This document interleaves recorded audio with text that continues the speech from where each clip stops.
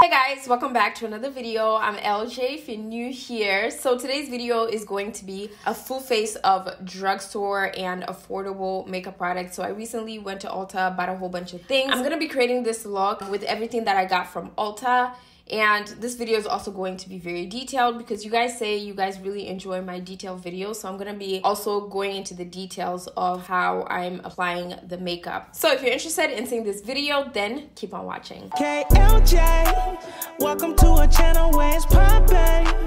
Mm, welcome to a YouTube. Alright, so today's video is going to be a full face of drugstore makeup. So I recently went to Ulta and picked up a whole bunch of drugstore makeup products. So this video is also going to be a very detailed video. First things first, I always start by priming my skin. You guys know primer is the most important thing for me when it comes to prepping my skin for makeup because it helps to grip my makeup, makes it last longer. So I picked up this e.l.f. Jelly Pop Primer. When I used this, it was very similar similar to the Milk Hydro Grip Primer. It's very sticky, has that sticky consistency. So I'm gonna see how it works on my skin.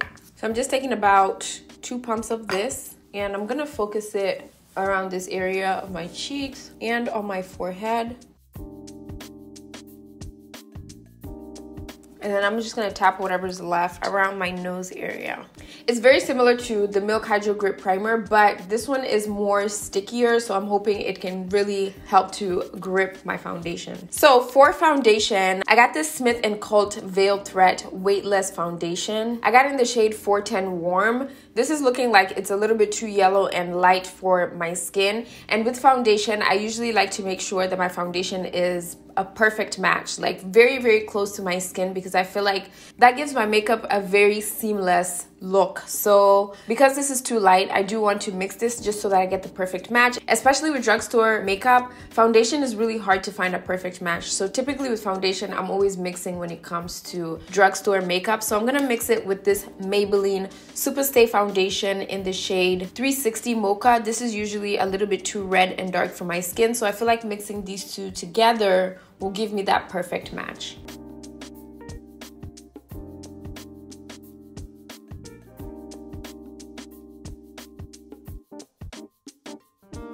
As you guys can see, the foundation looks like almost a perfect match. It's the same undertone. I like to match my foundation with the rest of my skin, so including like my hands, my face, and my neck, just so that they're all the same undertone. My face is a little bit darker than the rest of my body, so I kind of like to make it almost one shade. So honestly, I can say this foundation bomb.com. All right, now for concealer, I'm gonna use the Maybelline Superstay Concealer in the shade Tan 45. So this concealer is a full coverage concealer. So I'm gonna go really lightly just because I haven't really been using too much concealer. And with concealer, of course, you guys already know how I like to apply my concealer. I like to focus only on the areas under my eyes that have that darkness.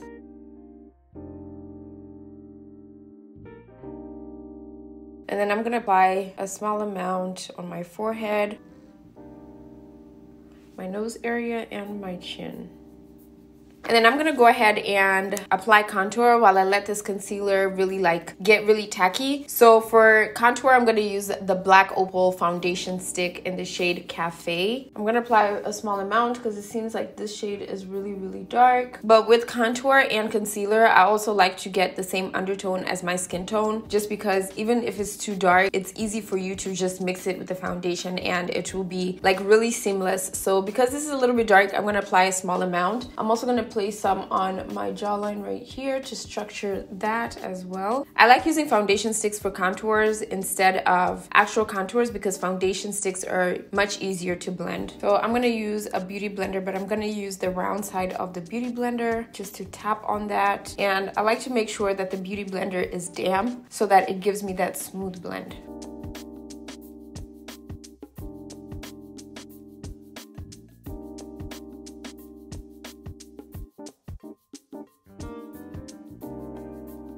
So with contour, you definitely want to bring the contour close to your hairline so that it mends really well with your scalp. And if you have a big forehead like your girl over here. You want to put a little bit of contour right there, especially if the foundation is really showing around that area. You just want to place a little bit of contour there.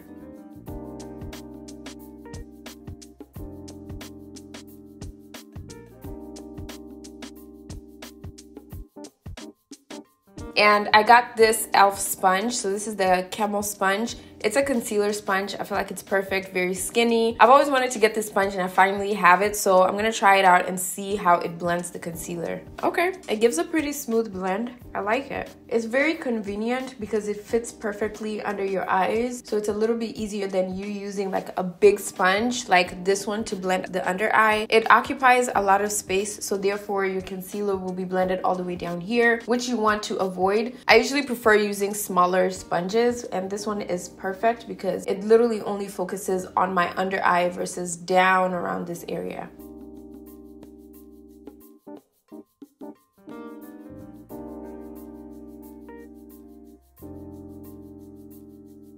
I'm gonna go ahead and blend out my forehead. So this concealer is definitely full coverage concealer, but it's really creamy and nice. And I feel like the shade is also perfect.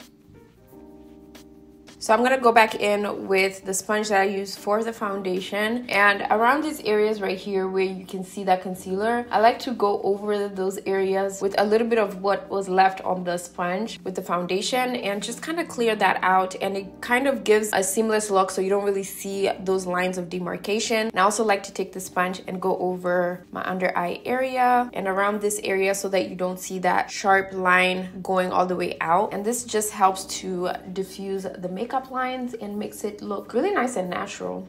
All right, so now I'm gonna go ahead and contour my nose. I'm gonna use that same black opal. And with the nose contour, I like to just place that foundation stick right where the bridge of my nose is close to my eyebrows, which is right here. And then I like to use an angled nose contouring brush. It can be an eyeshadow brush or a nose contouring brush. This is the Morphe E62 brush, which is my favorite. And usually what I do is I just take the nose contour and brush it up towards my eyebrows. And that will kind of help to diffuse it so that you don't really see that sharpness. And then whatever's left, I just drag it all the way down.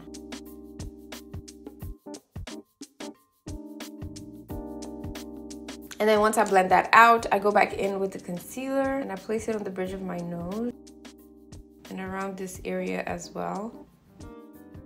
And then using a very small brush like this one right here, I'm just gonna go ahead and blend out the concealer. And this helps to sharpen up that nose contour. It's very similar to reverse contour.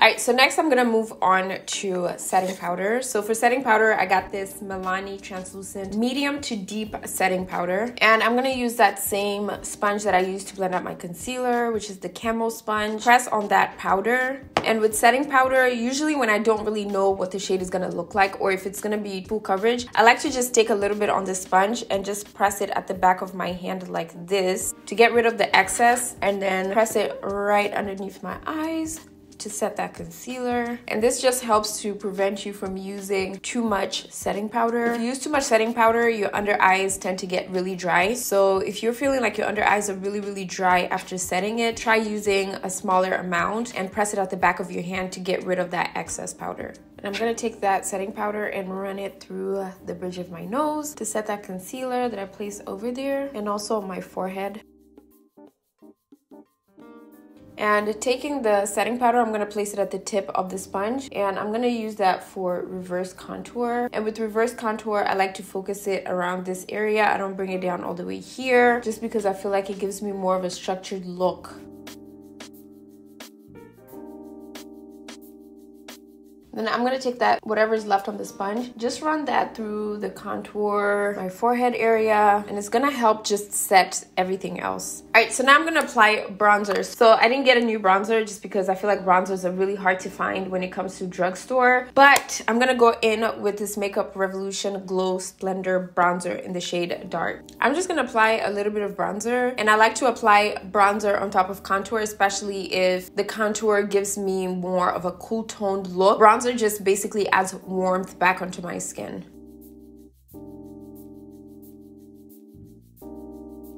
And with the bronzer, I mainly focus it around my hairline area where I place the contour, but I like to focus around this area. I don't usually bring the bronzer all the way in here just because I feel like the shadow really just should be reflected around this area. And then for blush, I got this J.Cat Beauty Blush Mallow. And this is in the shade Berries and Cream. It seems like it's really nice and deep and it's perfect for brown skin. So I'm gonna use a small amount and with blush I like to build it up because I don't like going in with too much and then you can't really take away from what you've already applied. So I usually like to apply it at the back of my hand first just to make sure I'm getting rid of excess and I focus my blush on the apples of my cheeks first and then I just bring it upwards towards my hairline. So yeah, this blush is definitely really, really pigmented, very rich. So now I'm gonna go in with finishing powder. So with finishing powder, I like to set my under eyes, a little bit on my forehead, and that gives me like a nice finished look. This is what gets my makeup to appear really flawless, especially under my eyes. When you have a lot of creasing, you wanna apply a finishing powder so that it kind of smoothens everything out. So a finishing powder that I got is the NYX Professional HD finishing powder in the shade Banana now. This looks like it's a little bit too light, so I do have to go in with a very small amount. And I like to use the sponge that I used for the concealer and setting powder, but I'm gonna use a clean side. And I just like to play, oh! that was really bright. So with this amount, I'm gonna use that to really just press that underneath my eyes. And if it's too light, remember to use a very, very small amount.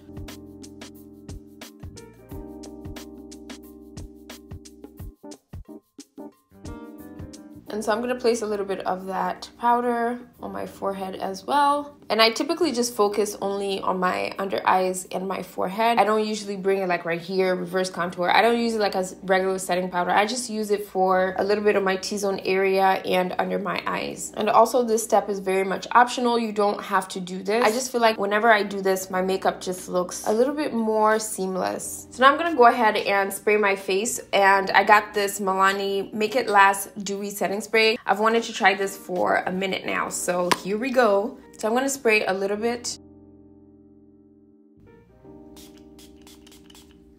So I'm gonna let this sit for about two minutes and then I'm gonna come back to do my eyes. All right, so now I'm gonna work on my eyes. I'm starting off with my eyebrows and typically with the eyebrows, I like to keep them very simple and natural and kind of like draw out eyebrow hairs on my eyebrows. So I got this Milani Weekend Brow Tint. This is a brow pen, very similar to the one that I usually use by Anastasia. I usually use the brow pen. I got one by Milani Cosmetics and this in the shade Espresso. So with the eyebrow product, you definitely want to get one that is closer to the colors of your eyebrow hairs because it's going to give you a more natural and realistic look. So what I like to do is I like to use the product and go in the direction my eyebrow hairs are pointing and just kind of fill them in with eyebrow hairs. And I'm just lightly using it. I'm not being too heavy handed because when you be too heavy handed, it's going to put a lot of pigment on there and then they'll actually start looking like artificial. So you just want to go lightly. So when I come to the front of my eyebrows, I just draw eyebrow hairs pointing upward versus slanted like this area right here. I draw them pointing upwards because that's how my eyebrows point at the front. And so once I draw them, I like to take a spoolie and just brush them upwards so that they mend really nicely with my natural eyebrows. And then if you see any spaces around your eyebrows, you wanna go back in and draw that out.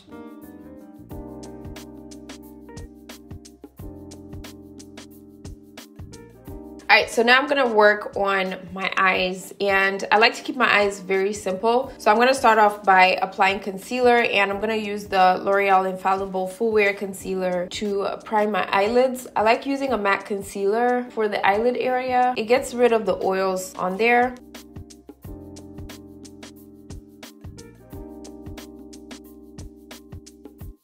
And the reason why I like using a concealer on my eyelids instead of an eyeshadow primer, just because I feel like it mends really nicely with my skin. Alright, so for my eyes, I usually like taking the bronzer that I used for my skin, and I like to just pack that bronzer shade on the outer portion of my crease. Once I pack that on there, I just like to kind of drag this towards the inner portion and fade it off a little bit.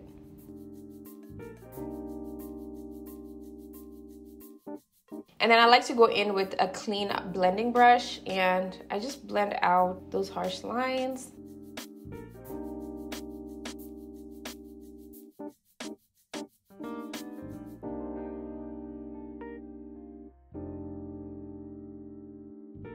And then next for my eyelid shade, I'm going to use this e.l.f. highlighter. So I like to use things that I use on my skin for my eyes just because I feel like they'll go really well with my complexion products. So I've used a bronzer, and now I'm gonna go in with a highlighter and this is gonna be the same highlighter I'm gonna apply on my cheekbones for the highlighted effect. So I'm gonna use a little bit of that highlighter and press that on my eyelid area. So with the eyelid area, I like to focus first on the inner portion and then I bring it all the way up towards where my crease area is.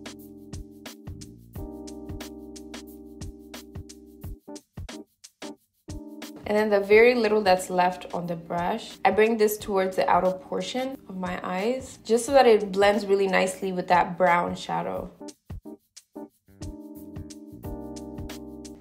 Alright, so I'm going to use a little bit of that bronzer and I'm going to smudge that right underneath my eyes. Alright, next I'm to use eyeliner. I usually like using a felt tip eyeliner, so I got the one by Essence. This is the super fine eyeliner pen. So what I do is I create a very thin eyeliner right where my lash line is. And this is good if you have smaller eyes. You definitely want to make your eyeliner very small if you applied eyeshadow just so that you have more space where the eyeshadow shows versus the eyeliner. You don't want the eyeliner to take away from your eyeshadow look. What I do is I literally just press that eyeliner. I don't really like draw it out. I literally just take it and I press it right where my lash line is. And then if you like, you can draw a wing, which is totally optional, just all based on preference.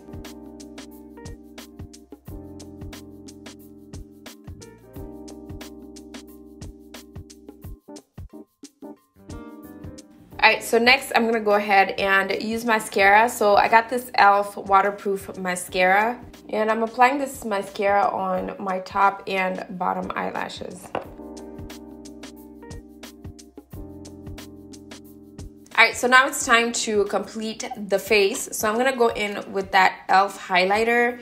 And this is the Apricot Glow Highlighter. So I'm just to place this on the highest points of my cheekbones right here where I want to have that really nice highlighted look. And one thing about highlighter, you definitely want to build it up. You don't want to go in with a lot because I feel like it will be really hard to blend and it will just be sitting on your skin. You want the highlighter to give you that nice glow so when you turn around, it looks natural. It looks like your skin is glowing from underneath. Okay, I already love this highlighter. It's not powdery, it's more so of a highlighter than a powder. When I turn like this, you don't really see the highlighter, but when I turn on the side, you can see that natural glow.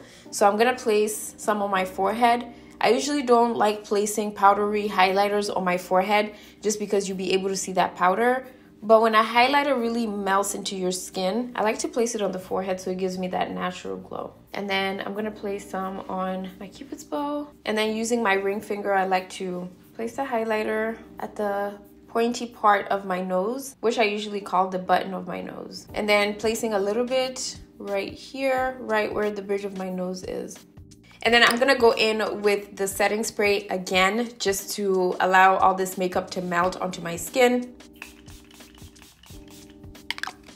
I actually really like the setting spray. It spritz the spray really nice, so it diffuses all over your skin versus a setting spray that the sprayer just goes right directly into your face. I like this because it doesn't spray too much. So I'm just going to let this sink into my skin and then I'm gonna go ahead and work on my lips. All right, so for lip liner, I got the LA Girl Shockwave Nude Lip Liner in the shade Chai Latte.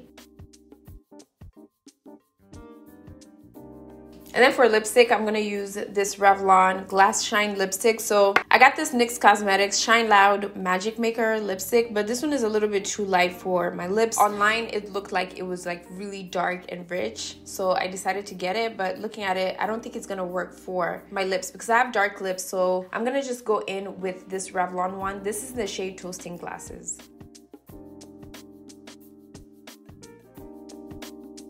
Okay, so here we have it with this drugstore makeup look. This is the final look. Everything I've used here, honestly, I really love. So I would recommend all of these products. And I love how the look turned out. It really turned out really nice, natural, seamless. It definitely came out like a full coverage makeup look, but it still really blends in with my skin. It's not like too loud or anything. So honestly, I love, love, love all these products. The only thing I would say is with this NYX HD finishing powder, you do have to be very careful if you are brown skin or you're of a deeper skin tone because I do feel like it can cause a flashback when you take a picture. You only want to use the powder when you're not about to take a picture with flash, but if you're not taking a picture with flash, I would say it's a good powder to really add that flawlessness under your eyes. I really like adding a finishing powder underneath because it prevents the creasing and it gives me that nice flawless finish. So I like the powder, but I would just say be careful because it can cause a flashback.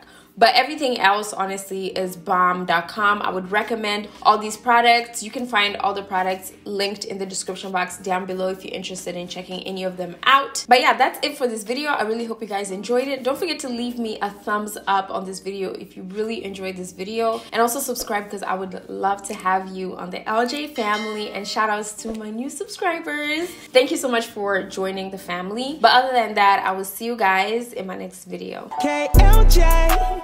Welcome to a channel where it's poppin'.